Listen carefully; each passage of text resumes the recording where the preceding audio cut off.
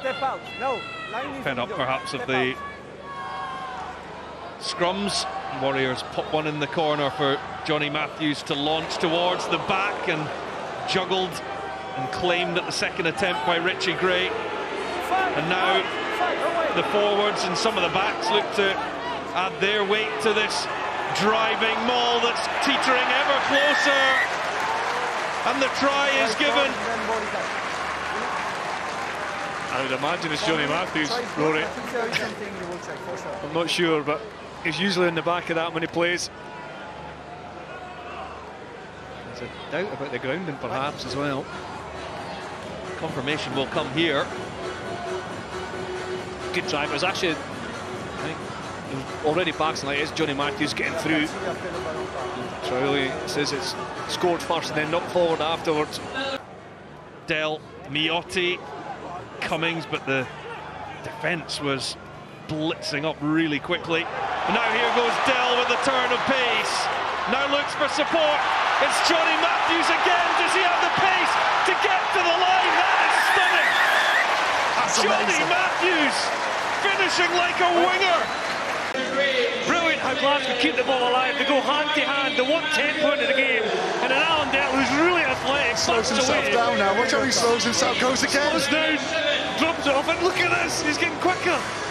He's even got the ball in the wrong hand. It doesn't matter. Oh, brilliant from the front row union. Okay, that's casual No, no, from no. Allan Dell. And there's your perfect technique. Modern day front row at his best. Oh, he's happy with that as well.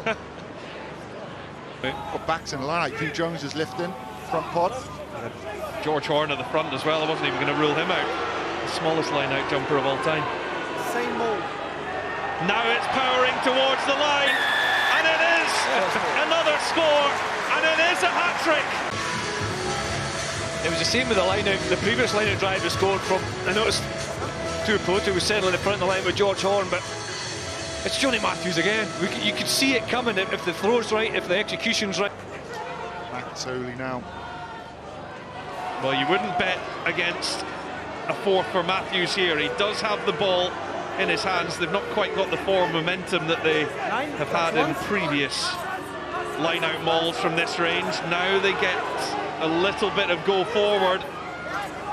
He's moving infield. The Warriors getting closer and closer, looking for a fifth try. Could it be Matthews again? They've gone I over. is. I hope it is.